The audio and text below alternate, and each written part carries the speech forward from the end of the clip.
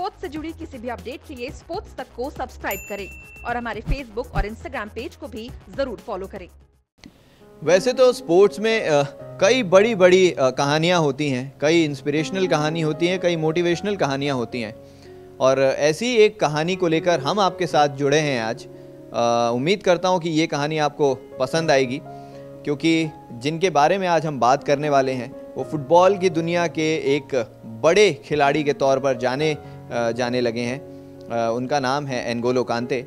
N'Golo Kante की कहानी के बारे में आज हम आपसे बात करेंगे। कहाँ से उनकी शुरुआत हुई और कहाँ से उन्होंने फुटबॉल के अपने करियर को शुरू किया इसके बारे में बताएँगे।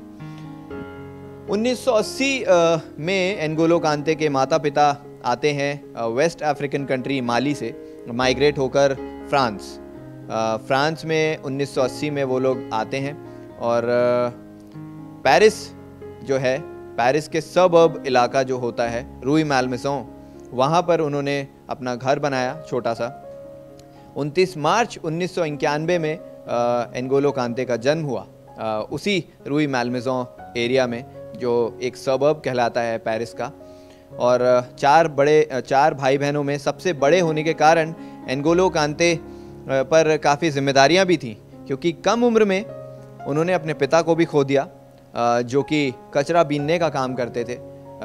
और वही चीज़ एनगोलो कांते ने भी फिर शुरू की, क्योंकि बड़ा परिवार था। उनकी माता जो हैं, वो क्लीनर का काम करती थी उसी सबब एरिया में, उसी छोटे से इलाके में। क्योंकि वो खासकर माइग्रेंट्स का इलाका कहलाया जाता था, जहाँ पर एनगोलो कांते का जन्म हुआ, रूई मैलमेसों एनगोलो कांते ने भी कचरा बीनने से ही अपनी ज़िंदगी की शुरुआत की। वो लंबी दूरी तय करते थे लंबे दूर दूर किलोमीटर तक जाते थे ऐसे ही चीज़ों को उठाते थे ताकि वो रिसाइकल हो सकें और कई रिसाइकल फैक्ट्रीज़ को वो ताकि वो चीज़ें ला के दे सकें और जिससे उन्हें पैसे मिल सकें। उनकी कोशिश तो यही रहती थी बचपन में कि अपने परिवार को किस तरह और कितनी अच्छी से पाला जा सके। लेकिन जितनी जल्दी उन्हें ये चीज़ें पता चल गई थी आ, उनके सामने उनकी जो ज़िंदगी की लकीर थी वो भी कठिन होते जा रही थी। सात साल की उम्र हो चली थी एनगोलो कांते की और वक्त था उन्नीस का। उन्नीस का वक्त फ्रांस के लिए बहुत ख़ास था क्योंकि ये वर्ल्ड कप का दौर था फ्रांस के लिए जो वर्ल्ड कप ने जीता भी था। और कई ऐसी भी चीज़ें एनगोलो कांते ने सोची थी जिससे कि वो परिवार को अपनी और मदद कर सकें।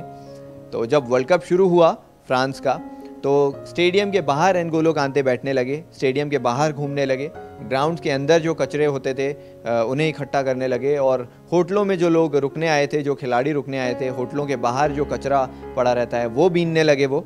और इससे जो उन्हें पैसों की मदद थी, जो पैसे वो कमाते थे, वो अपने लिए बचाते थे और वही अपने घर में इस्तेमाल भी करते थे अपने छोटे भाई बहनों के लिए और अपनी माँ से भी वो पैसे शेयर करते थे। लेकिन जब आठ साल की उम्र हो चली और वर्ल्ड कप के दौरान एनगोलो कांते को एक चीज़ सुनाई पड़ी, कुछ ऐसे बड़े खिलाड़ियों का नाम उनके कानों तक गूंजा, जो माइग्रेंट्स थे। वो ऐसे प्लेयर्स थे जिन्होंने फ्रांस को वर्ल्ड कप जिताया था। और उन्नीस का समय जो है वो वो फ्रांस का एक नया इतिहास था, नया चैप्टर था पूरी दुनिया के सामने। क्योंकि कुछ ऐसे खिलाड़ी थे जो माइग्रेंट्स के तौर पर फ्रांस आए थे और फ्रांस को ट्रॉफ़ी जिताने में मदद की थी। अगर नाम लिया जाए तो जिनेदिन जिदान है उसमें। थियरी ऑनरी हैं उसमें निकोलस अनेल्का हैं पैट्रिक वियरा हैं, ये बड़े बड़े खिलाड़ी जो दिग्गज रहे हैं अपने देश के और दुनिया में फुटबॉलिंग जिनमें इनका नाम गूंजा जाता है, ये भी माइग्रेंट्स ही थे।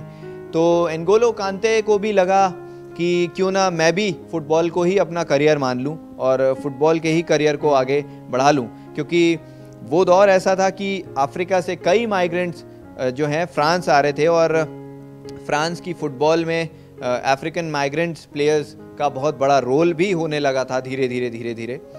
आठ साल में एनगोलो कांते ने एक अपने क्लब को चूज़ किया, क्योंकि वर्ल्ड कप के बाद में कई ऐसी छोटी मोटी अकेडमियाँ खुल गई थी जिससे प्लेयर्स वहाँ से खेलना शुरू कर रहे थे और अपनी अपनी लीग के लिए अपने अपने देश के लिए आगे आ रहे थे। तो एनगोलो कांते ने भी एक ऐसे ही क्लब को चूज़ किया। जे एस सिरेन के क्लब नाम था उनका जे आई सिरेन। तो इस क्लब से शुरुआत हुई एनगोलो कांते की फ़ुटबॉलिंग करियर की। जब उन्होंने फ़ुटबॉल क्लब ज्वाइन किया और ज्वाइन करते ही बाकी जो कोच थे और बाकी जो बच्चे उनके साथ में खेले थे उनसे वो बहुत ज़्यादा कमज़ोर दिखते थे। ज़ाहिर सी बात है कि खाने को खाना नहीं होता था पीने के लिए पानी नहीं रहता था, अच्छी डाइट नहीं रहती थी अच्छा फ़ूड नहीं था उनके पास में। तो लेकिन एक चीज़ थी कि वो शुरुआत से ही मेहनती बहुत ज़्यादा थे और फुटबॉल में ही उन्होंने एक ख़ास चीज़ को अपना हथियार बनाया जिससे वो आगे बढ़ सकें। डेली की प्रैक्टिस के अलावा एक ऐसी ख़ास चीज़ एनगोलो कांते करते थे वो ये रहती थी कि वो टैकल बहुत ज़्यादा करते थे और ये जो चीज़ें करते थे वो प्राइवेटली करते थे आ, कोई इन्हें सिखाता नहीं था। ये अकेले में जाके ये चीज़ दोहराते थे बार बार दोहराते थे दिन में कई बार दोहराते थे। सिर्फ़ टैकल करना है और एक बॉल को एक छोर से दूस, दूसरे छोर तक लेके जाना है और अच्छा प्रदर्शन करना है और बॉक्स टू बॉक्स खेलना है। ये चीज़ एनगोलो कांते को समझ में आ गई कि प्राइवेटली और मैं इस चीज़ को जितना अच्छी तरीके से कर सकूँगा आगे ये मेरे लिए उतनी ही कारगर साबित होगी। तो आठ साल के बाद में जब इन्होंने अपना करियर शुरू किया और उम्र हो चली जब तीन साल तीन चार साल और आगे बढ़े बारह साल के आसपास जब आ, इनकी उम्र हो चली तो ये अंडर सिक्सटीन के लड़कों के साथ में मैच खेलते थे। तो वहाँ पर अंडर सिक्सटीन के लड़के इन्हें जब कहते थे कि अभी आप हमारी लीग में खेलने के लिए काबिल नहीं बने हैं और यहाँ पे बड़े बड़े लड़के हैं आप नहीं खेल सकेंगे। तो एक दौरान एक मैच में ऐसा ही वाक्य हुआ एनगोलो कांते के साथ में।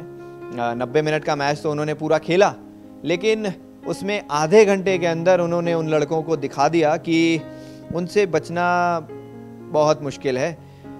कोई भी खिलाड़ी कोई भी सीनियर खिलाड़ी उनसे बॉल आगे तक नहीं ले जा सकता था। आ, उनका टैकल इतना ज़्यादा अच्छा हो चला था 12 साल की उम्र में कि वो अंडर 16 के लड़कों को बहुत आसानी से रोक सकते थे और रोके भी थे उस मैच में।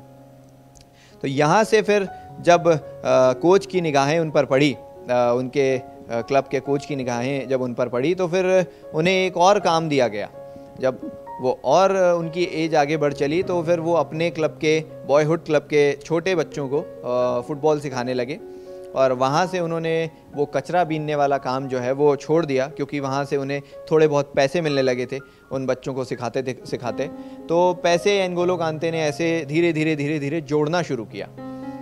और उसके बाद जब लगातार वो कई साल अपने बॉयहुड क्लब से खेले।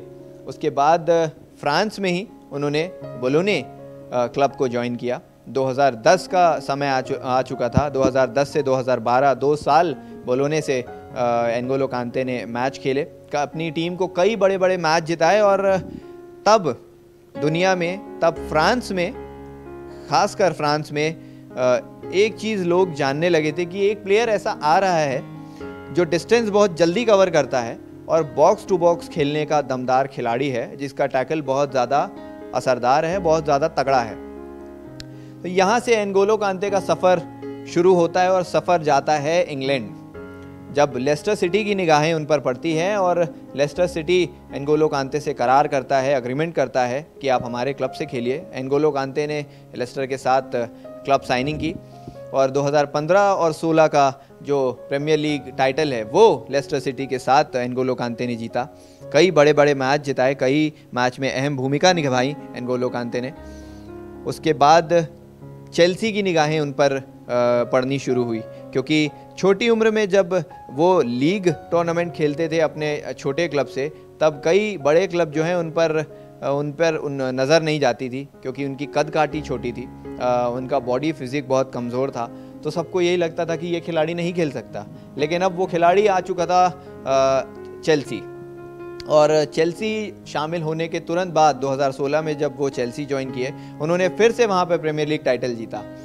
और लगातार इन दोनों सालों में premier league team of the year में एनगोलो कांते चुने गए।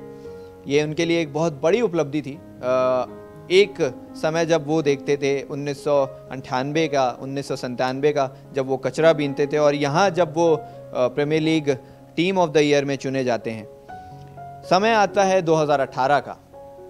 वर्ल्ड कप का दौरान वर्ल्ड कप का समय रशिया में जो खेला गया था।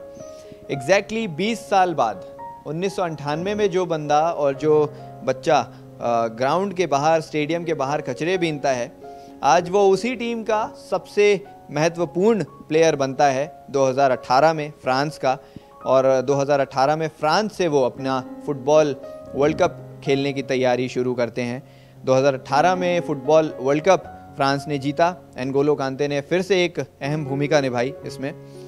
और जब ट्रॉफी सेलिब्रेट कर रहे थे प्लेयर्स तो एनगोलो कांते साइड में खड़े देख रहे थे। तब ओलिवियर जिरू ने उनको आके कहा कि ये ट्रॉफ़ी हम सबने मिलकर जीती है आपने भी मिलकर जीती है। इस पर आपका भी उतना ही हक है जितना बाकी खिलाड़ियों का है। तो उन्हें आगे बुलाया गया ट्रॉफ़ी उठाने के लिए ट्रॉफ़ी सेलिब्रेट करने के लिए। तो दो कतारों पे जब प्लेयर्स की लाइन लगी तो एनगोलो कांते अकेले बीच से आते हुए ट्रॉफ़ी उठाते हैं सेलिब्रेट करते हैं ट्रॉफ़ी को चूमते हैं और वापस वो दूसरे ही खिलाड़ियों को दे देते हैं आ, बड़ी सादगी से। क्योंकि बचपन से हार्ड वर्क उन्होंने बहुत ज़्यादा सीखा था और जिस ह्यूमिलिटी से वो आगे बढ़ते चले हैं उसी ह्यूमिलिटी से वो चीज़ों को आगे भी देखते हुए आ रहे हैं। 2018 में फ्रांस के साथ उन्होंने वर्ल्ड कप जीता। आ, कई बड़े बड़े प्लेयर्स के साथ में उन्होंने मैच खेले लेकिन सबकी धीरे धीरे पसंद बनने लगे एनगोलो कांते। अब वक्त हो चला है 2021 में और यूरो आने वाला है। यूरो के लिए भी एनगोलो कांते आगे अपनी दावेदारी पेश कर रहे हैं और इस साल बैलेंडोर के लिए दौड़ में भी शामिल हैं एनगोलो कांते। तो ये कहानी थी एनगोलो कांते की शुरुआत से लेकर अब तक की, क्योंकि अभी तक जो उनका कारनामा था वो तो इतिहास के पन्नों में लिखा जा चुका है। और आने वाले समय में भी एनगोलो कांते एक बड़े फुटबॉल के नाम की तरह ही जाने जाएँगे। जैसा काम उन्होंने किया है, जिस जगह से वो आए हैं और जिस मुकाम तक वो अभी तक पहुँच चुके हैं उसको देखते हुए। उम्मीद करता हूँ आपको ये कहानी एनगोलो कांते की पसंद आई होगी। एक छोटी सी कहानी हमने सोची थी कि आपके सामने रखी जाए स्पोर्ट्स के व्यूवर्स के सामने रखी जाए, लेकिन इसके अलावा और भी ऐसी कई कहानियाँ होंगी दूसरे खेलों से, जो आपके सामने हम लाएँगे। कई स्पोर्ट्स पर्सन की कहानी होगी, जो कठिन दौर से आगे बढ़े हैं और अब ऊपर ऊंचाई पर विराजमान है अपने खेल को लेकर, अपनी हार्डवर्क को लेकर। उम्मीद करते हैं कि आपको ये स्टोरी पसंद आई होगी एनगोलो कांते के लिए। स्पोर्ट्स तक को लाइक कीजिए वीडियोस को शेयर कीजिए और नोटिफिकेशन की बेल ज़रूर दबाइए ताकि सारे सारे आपको नोटिफिकेशंस टाइम टू टाइम मिलते रहें। स्पोर्ट्स से जुड़ी किसी भी अपडेट के लिए स्पोर्ट्स तक को सब्सक्राइब करें और हमारे फेसबुक और इंस्टाग्राम पेज को भी ज़रूर फॉलो करें।